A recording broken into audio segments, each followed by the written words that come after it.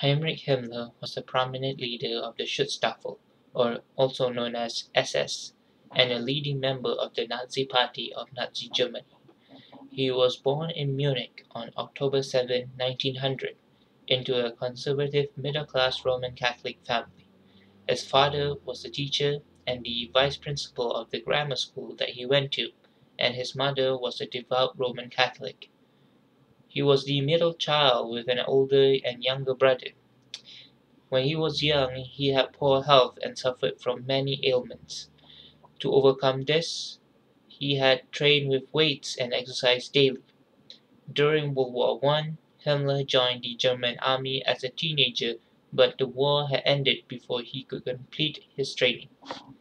After the war, he completed his education in agronomy at Technical University Munich but in the process was influenced by anti-Semitism in the university and also in the country.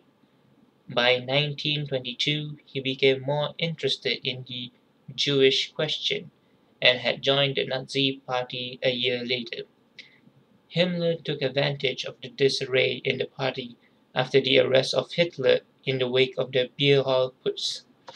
He took on a leadership role and was responsible for the integration of new members into the Nazi Party under Hitler when the party was refounded in 1925.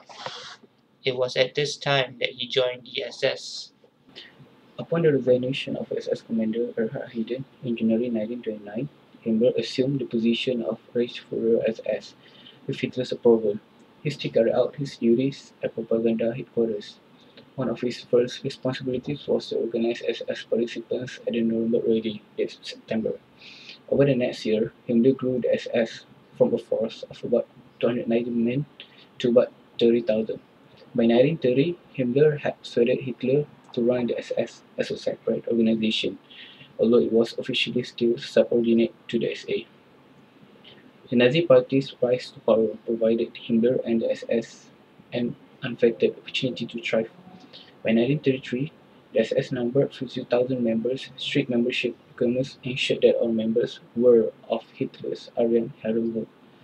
Applicants were vetted for Nordic qualities. In Himmler's voice, in Himmler's words, like a nursery gardener trying to reproduce a good old strain which has been adulterated and debased.